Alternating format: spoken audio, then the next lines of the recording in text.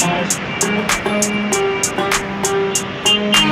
Welcome back viewers to what is a very sunny Cairo. It's pretty hot. Um, so yeah, today I don't want to go into too much history because we've obviously done so much uh, ancient Egyptian history.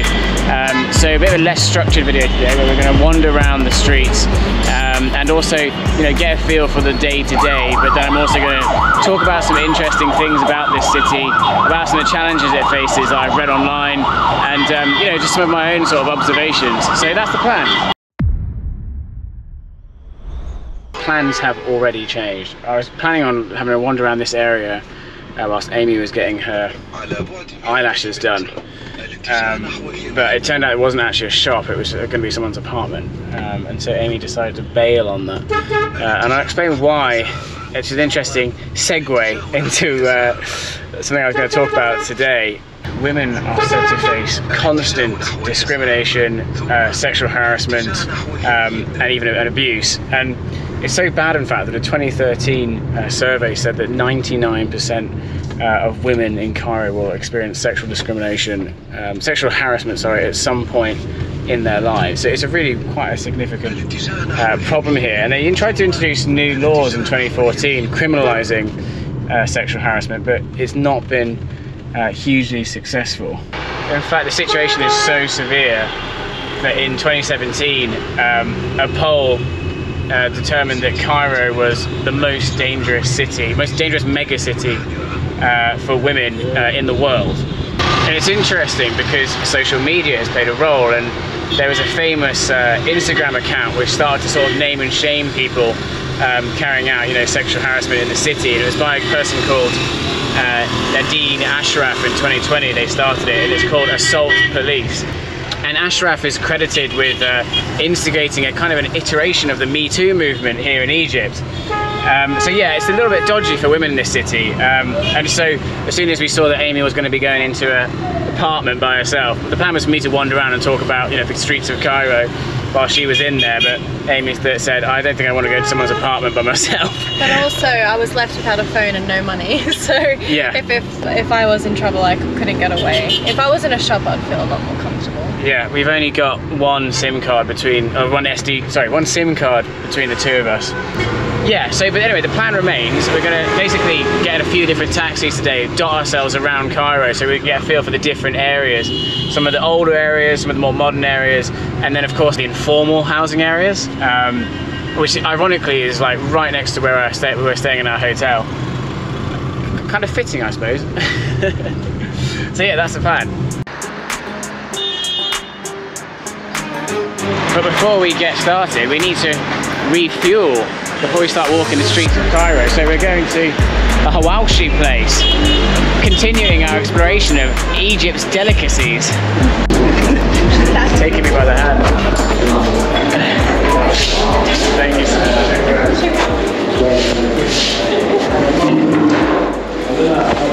So here we have it, a Basically uh, lamb mince. Do you see that there? Look at that. It's basically lamb mince that they fry inside a pita bread uh, with cheese, onions, uh, bell pepper.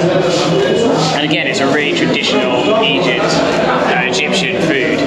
I've got a little plastic uh, glove to put on as well. Where are you putting that, Amy? Amy hasn't had lamb in years. Four years? Four years. Thoughts? Tastes like a kebab. Like a, like a kebab? Okay, I'm gonna grab one of these then. Yeah. Crispy, really crispy, very cheesy. But yeah, it's got that sort of kofta, lamby. Hmm. It's really good, really good. Again, not super healthy. Yeah, highly recommend. This would be amazing if you do it like, on a night out afterwards. It's very greasy, yeah, really good. And then you got some hummus here and some, or tahini rather. And then we got pickled uh, vegetables to give it a bit of zest as well. Pickles are really strong. A bit too much for but I'm loving them. It just had a whole other dimension. It's spicy and really tangy. There's carrot in here and olives, lemon. just to add, tahini is made from crushed sesame, so it isn't it isn't hummus, which is made from crushed chickpeas, but it has a very similar flavour and also texture. Very full after that.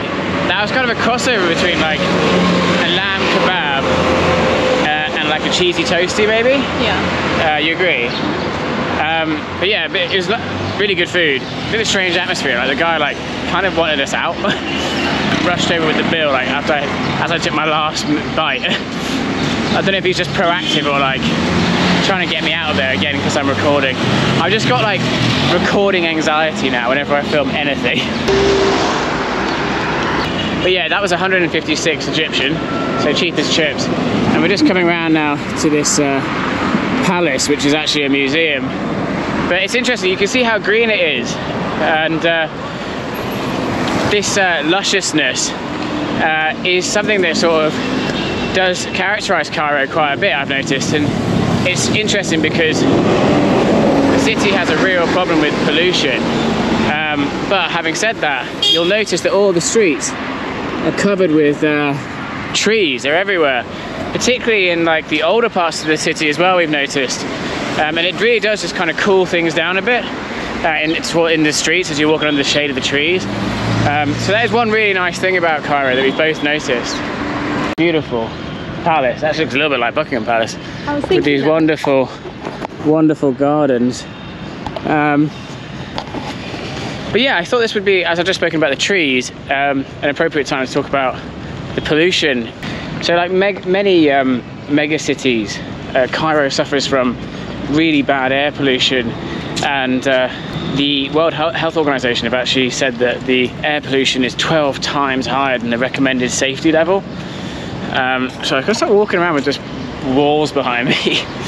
um, but yeah, and that's because of um, essentially uh, no regulation around um, vehicle emissions. So a lot of the vehicles in Cairo, I think it's 60% are uh, older than 10 years, um, and so they don't have um, the technology, catalytic converters, etc., to um, reduce the emissions coming out of them. And this is also compounded by the fact that they have a lot of uh, industrial uh, processes releasing um, emissions, as well as chaff and trash burning. And there are actually four and a half million cars in, in Cairo. And it's kind of a bit of a perfect storm, unfortunately, because of Cairo's layout um, sort of amplifies the problem. So, for example, you'll notice that all the streets are quite narrow, but the buildings around it are really tall. Um, and it doesn't rain. And so it creates a kind of a bowl effect, uh, just sort of trapping um, you know, all the air pollution in one place. Um, and they, they actually attribute as many as 20,000 deaths a year um, to Cairo's poor air pollution. So it literally is killing people. Me and Amy both noticed, and this is actually what got me reading about it, were, uh, that uh, every time we got home and like blew our nose, especially after we'd like had a, a uh, long journey in a taxi, because they leave the windows open in the taxis, uh, but a long journey in a taxi, um, you know, across the city from central Cairo, we'd have like all black, um, you know, bits in our nose, and like it's a bit gross, but like our boogers would be like dark grey or black, um, and that's just from the pollution. Um, we've had it like once before. Uh, Um, occasionally it used to happen to Amy when she used to get the tube. So we're heading now to Al Moez, which is in historic Cairo.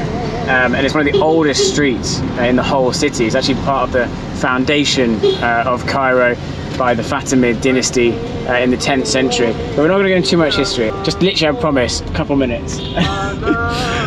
So historically, this area we're going to is sort of one of the main arteries uh, of the historical city uh, of Cairo, and very important sort of economic zone, um, full of kind of souks, which are the markets. Um, and even today, um, you know, there's still a lot of these souks uh, that you can kind of explore, which is what we're going to do. It attracted a lot of um, sort of charitable construction work, um, you know, funded by the elite and the rulers of Egypt. Uh, and so even today, um, it's like a really good example of kind of dense area of kind of typical Islamic architecture, um, which gives it a really sort of unique character. Incidentally, um, Cairo has sort of long been thought of as sort of the cultural and religious capital of this entire region. Um, and it's actually called the city of minarets a lot of the time. And, and minarets are like you know those towers that you see sort of attached to mosques. Uh, and so I'm wondering, like, because this is like a tip, like a very sort of you know famous Islamic architectural centre. Um, if we'll see loads of these minarets in there, I suspect so. But right now we are absolutely roasting in here, and we're experiencing firsthand what it's like to be in a city with you know four and a half million cars. We've, we've moved about 100 meters in the last 10 minutes. It's just so hot. He says 33 degrees. Mm. 33 degrees, but, but, in a boiling hot car, no aircon and the windows down. Don't know why. It's uh, pretty hot.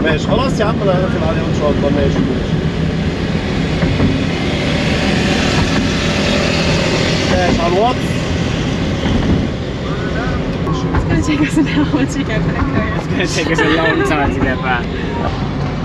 Okay. Yeah. And it's this way, right? Yep, shukran. Thank you, sir. So we found the tourist area, that's for sure.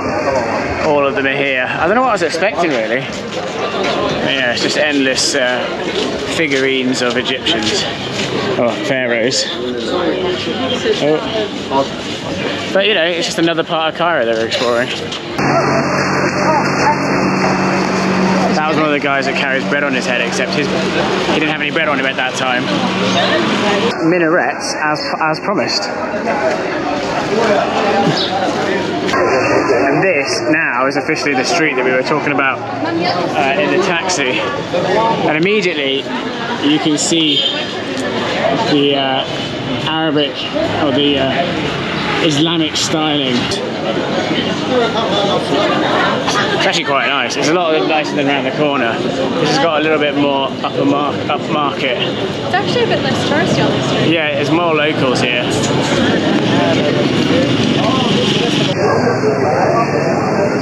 Here's an old telephone. Yeah, that's crazy.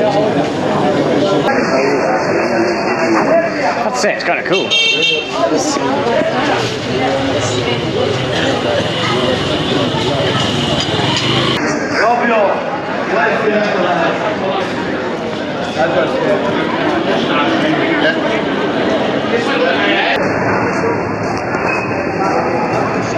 It's actually really nice around here. I'm actually I'm actually surprised how nice it is. Uh, wow.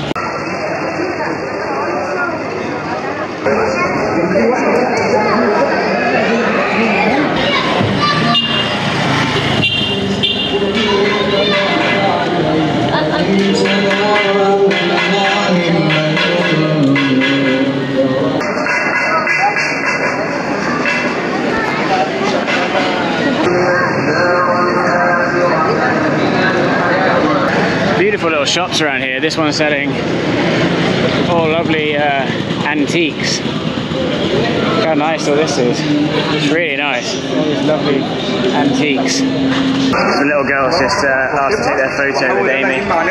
They, they must be uh, they must be fans of the channel, which hasn't hasn't actually been officially released yet. They must just be able to see the quality content being produced here. Obviously, Egyptian girls have a really good sense for these things. But no, as I was saying, yeah, it's full of lovely little antique shops. It's a shame, really, because obviously we don't live here, but um, you could fill a house with all these wonderful things. There's actually some really nice stuff here. And there's the fresh juices as well. You remember from Jordan we had all those fresh juices. That's also an Egyptian thing. Mandatory, mandatory shisha shops everywhere. Are you ready? Shi- shisha shop. More shisha. You think, oh, oh, do they need more shisha shops? Don't worry. Shisha shop.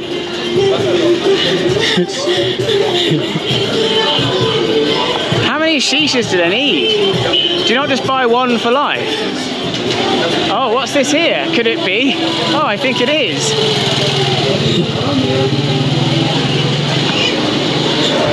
It's another shisha shop. Another juice shop.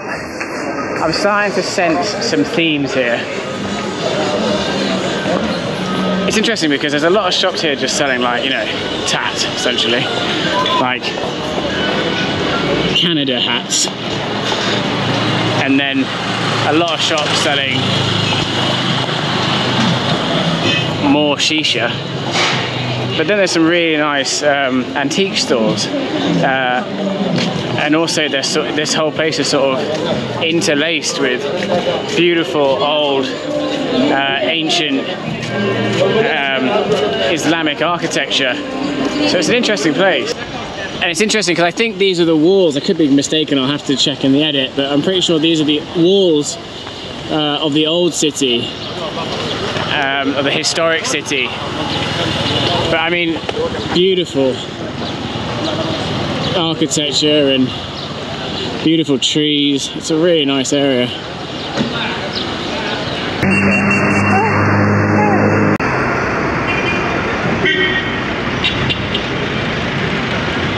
We're going to head back in because now we're on the opposite side of town that we need to be to get the taxi to the next area. But um, yeah, it's interesting. There's a, there's a, few little historic buildings dotted around still, but you kind of come out of the old city and you're back into normal Cairo surroundings to some extent. Let's see if we can poke our head in here, but inside the wall here seems to be a uh, beautiful shiny floor, but I don't know if Amy is dressed appropriately.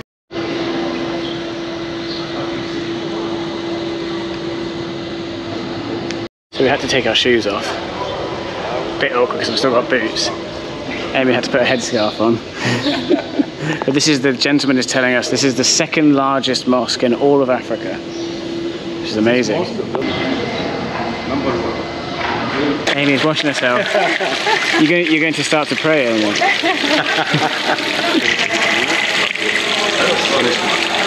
So that More room here for he's saying that this is here for washing yourself before you pray, and that is also a well because the Nile, after they bought, uh, built this place, moved away, so they still needed something way to wash themselves. So that would give them water, the well, so they could continue to wash their hands and I think their feet as well before they pray.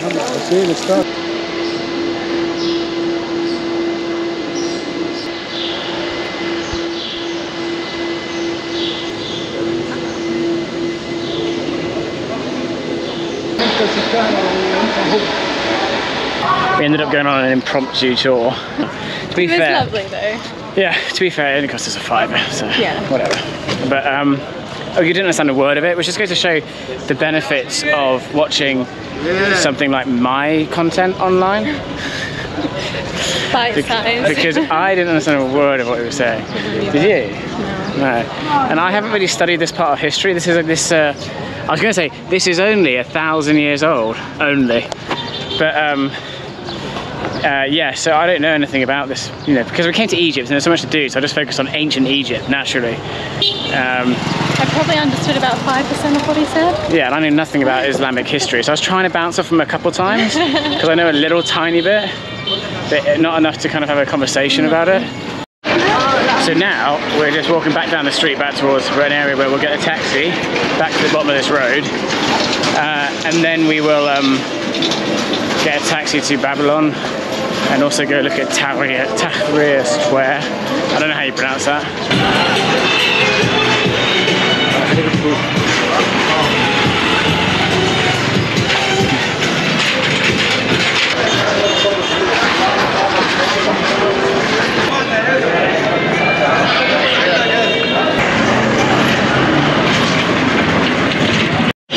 Just had more fans uh, coming up to us asking if we can have photos whilst we sit here. We're just having a coffee on this road on the way up to the uh, top where we'll get the taxi to the next location. Um, but yeah, two little kids wanted Yeah, this time. this height. This time wanted uh, Both of us. both of us to be in the photo because obviously I'm the main content face of the channel. the face of the channel. Maybe I shouldn't put this in. I'm not even sure it's funny. I've got an Arabic coffee here. Amy's got a nice little tea. And we had a freshly squeezed orange juice, but it had ice in it. So we quickly drinked it as quick fast as we could before the ice melted. Probably shouldn't have done that, but we're weak. I don't know if that makes sense. I don't know, it makes sense to me. I feel like Makes ev- sense to me. I feel like it makes sense to every kind of 11 year old, wouldn't it? Just drink it real quickly. Don't get What's the it, water. what's it only drops on the floor, on the floor? Like Three second rule. three second rule. Five second rule. They wet the floor everywhere everywhere we go, and we're not exactly sure uh, what the reason for that is. In fact, yesterday on our road, they were hosing the essentially just the dirt road, like the mud. Um, we're wondering if it's got something to do with the dust. Strange.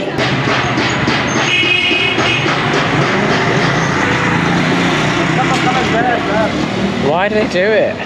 I think these go on go on top of the mosque. Is that right? This on, on top of the mosque? Yeah, yeah, yeah. So yeah, the gentleman's saying they go on top of the mosque. So you'll see uh, this one over here.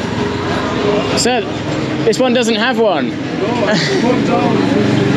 yeah, yeah, yeah. You need one up here. I suppose that just goes to show uh, that this really is the uh, city of those towers. I to admit, I forgot what it's called then. The city of minarets. It just goes to show that it really is the city of minarets. Because they've got the top to sit on all those minarets in every one of these shops. So we're at the end of the street now, it's get a taxi. But it is manic as always.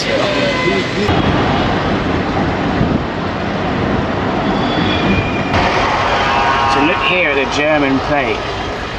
So you may notice that's got a German plate. See the, and that is a Egyptian number plate on front of a German plate. But I've looked online about this. I've seen it a few times. I was wondering what that was about, and I've seen some conflicting information. I'm not. I can't quite narrow it down. So one thing is that they're like second-hand vehicles from Germany, uh, and the idea is that because you bought them, you know, from a European country, um, you know, they, they, they're likely to have been properly maintained, or have like a full service log, if you will. Um, but then I've also seen information that says that they've now just become a bit of a trend. People will purposely buy German plates to put them underneath their um, yeah, underneath their Arabic uh, plates as a bit of a sort of a fad, a fashion statement. Uh, Egyptians hold German cars, as do a lot of countries, in a huge with a huge amount of respect, and uh, they really revere them. Um, and so yeah, so again, it's kind of like this celebration of German engineering. Um, but it's an interesting thing. I've not seen that before in any country. Oh, that one doesn't. That one didn't have one.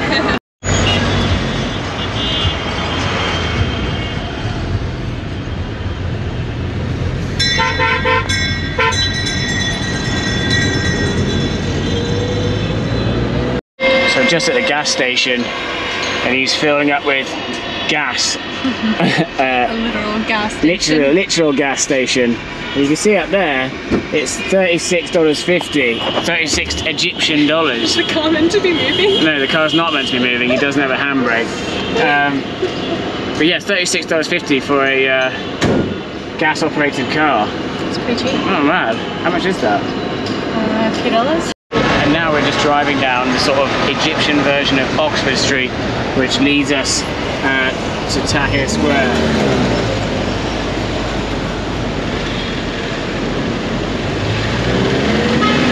Very sh- the shopping area. You can see a little bit more upmarket shops than the rest of uh, the rest of Cairo. It's quite nice actually.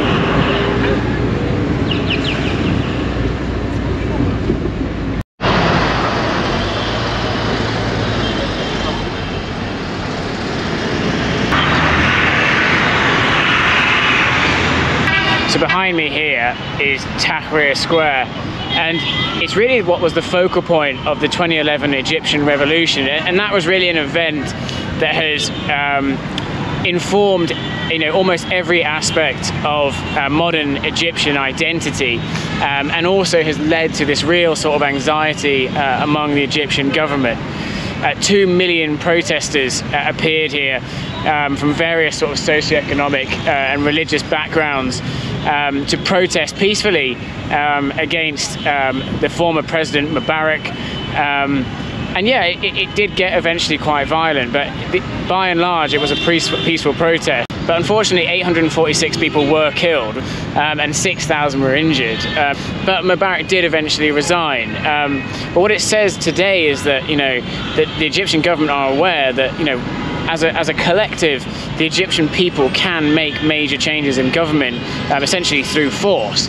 and that's kind of where that anxiety comes from. Uh, and I'm sat here on this edge, not walking around doing this too obviously because I'm half expecting to get rugby tackled by a group of police officers. Uh, I'm not sure what they would think about my comments on this, whether or not I'm damaging the image of the country.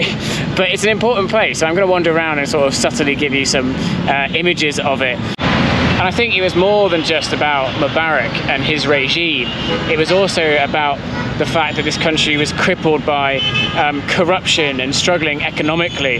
And in many respects, it kind of was a uh, the people uh, announcing a kind of a cry for help, a, a demand for change, and it kind of worked. So this is from Luxor. These things, the Sphinx. You can see here these things are pretty nasty. Beautiful, but sharp. And I, I, I, said to Amy as we drove past earlier, I wonder if that's on purpose to stop people getting too close to it should there be another mass protest here. It's kind of the perfect analogy for Egypt. Beautiful, but if you look closer, not everything is as it seems. And there are guards at each entrance to it, so you're not allowed close to it.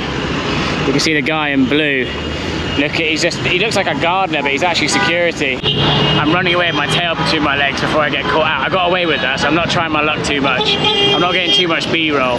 In my head, I was like, yeah, mate, we've seen the Sphinxes. Those are the Sphinxes from um, what's it called? Valley. Sphinx Avenue. Yeah, Sphinx, Sphinx Avenue in Luxor. You know, the one with like the hundreds, well, no, it's thousands, thousands, wasn't it? Thousands of Sphinxes. They took four of them from there and put them around that obelisk. The best four. So, the best four. So we've seen the Sphinxes, mate. That's not what we're here for. Little do they know, they think that we're there for the ancient Egyptian history. No, no, no, no. We're here to look at the site of the revolution, my friend.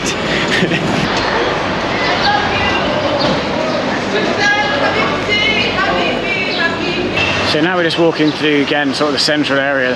Um, we're actually going back to that place where we got the uh, Egyptian version of the bolognese. What's it called again? Um, I can't remember what it's called. But you see what I mean about these trees? This is one of the really nice things about Cairo, is they sort of just let them grow. Um, and so you can walk down this street and it's suddenly really nice and shaded. It's beautiful. Look how nice this is. So cool.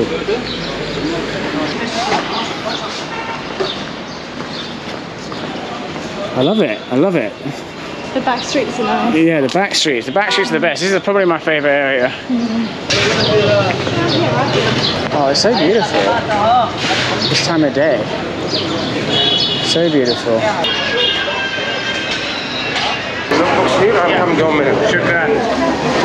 So here's the conveyor belt where they all do their little bit one at a time.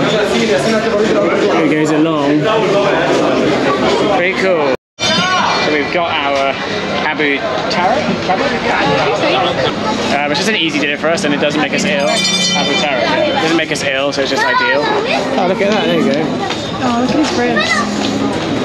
And I think that that's something I wanted to kind of kind of come across in this video. There's so many different modes of transport on the roads here, and like it's kind of a combination of the modern and the traditional. You get the you know the little um, minivan buses that are sort of zipping around everywhere, and then you get a donkey walking next to them and a taxi. It's uh, it's a real sort of mix of old and new. You also have to watch where you step. Yeah, or you get taken out by a, an animal or a car. I was going to say because there's all oh, what do you mean? horse crap. Oh yeah, there's horse crap everywhere.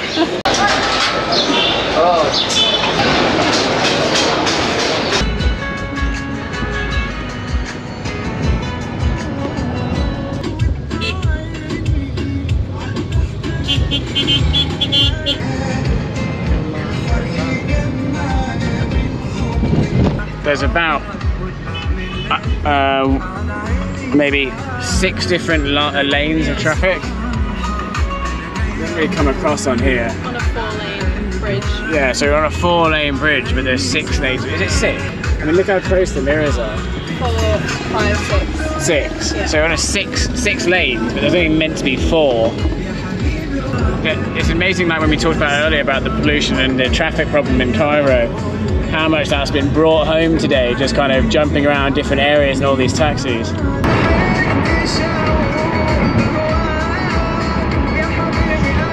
We were going to go have a look at um, the poorer part, the uh, informal housing, and I was going to tell you a bit about that, but I think we're going to have to do that tomorrow morning because it's seven o'clock now. So we're just entering the informal housing area, and first impressions, it's actually all right. Like it's quite nice. Um, Amy's just saying it's actually nicer than some of the other areas we've been to. And um, yeah, there's been a between 1947 and 2006, population of Cairo exploded from 3 million to 16 million people, um, and that created a bit of a housing crisis. And so these informal houses um, uh, areas started to pop up, and um, they have vibrant communities. And ironically they actually sort of solved the problem in some respects because they gave somewhere gave people somewhere to live. But by the same token the government wouldn't countenance um, buildings that weren't constructed under regulation um, so as a result of that there's also you know no government funding and well very little of it I think uh, and also not a lot of services in the immediate area amazingly 60% um, of Cairo's people live in informal housing, but they only account for 20% of the total area of Cairo. It's very cool.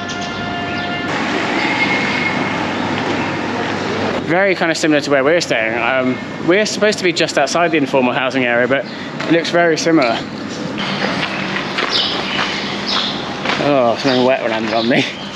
But yeah, all the balconies have little um, what do you call like covers on them and then little covers to keep the rain off them and then a lot of them have curtains that they can draw across their balconies so that you can't see in presumably and see women one thing that Amy noticed um, the other day is when you drive past the hairdressers they have big posters on the window of women getting their hair done is that right yeah um, but that's the idea, the idea of that so you can't see in because so they have to take their hijab off mm. um, so you can't sneak a peek as you go past.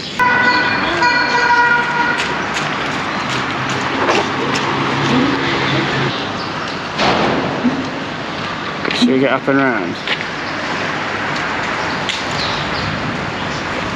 Gonna be honest though, we're getting some funny looks. Don't think they get many people walking through here vlogging. Um, but I think you can certainly see the style. It's these buildings. Um, obviously, I think the informal areas, they're much narrower streets. And some of them are quite a lot older, like this one. Yesterday, it rained, and it was also a bit of a sandstorm, but it only lasted about 10 minutes. But it did this to all the cars. Every car in the city now is filthy. So they only need a little bit of rain and some wind, and all the cars get covered in muddy sand. In fact, opposite, you can see the building is covered in the sand and it just creates mud. Must be a real pain in the ass. The whole city, everyone suddenly needs to wash their car within 10 minutes. They've all got views of the pyramids on this street. Oh, sorry. All these informal houses have actually got pyramid pyramid views. you see that? Right at the back there. It's not bad, is it? The highlights. And now we're on our street, back to our street. Amy can get rid of her horrible skirt. and you'll see our street, I don't, it's technically on the map that I found online on an academic paper. Um, the journal said that this wasn't an informal area. Anyway, I'm just going to film up here a second. Um, but you can see it looks identical to what we've just been, you know, walking down. Typical problem with rubbish here. The uh, balconies with the curtains across, the dirt roads, the exposed brickwork. That is what, yeah, that, this is what defines the look of all of these uh, Egyptian streets. And many, most of them, I say this whole area looks like this. Um, so there we have it. That's kind of a summary. Um, Thank you very much for joining us. It was a really fun video to make this, the walk and talk and sort of just explore an area and try and get a summary in your head of what a city feels like, as well as me sort of talk about some of the challenges it faces and some of my own observations. So I intend to do more videos like this alongside the sort of history ones. They're good fun, the sort of everyday of a country. But yeah, thanks very much for joining us. And um, yeah, we'll catch you on the next one. Like and subscribe.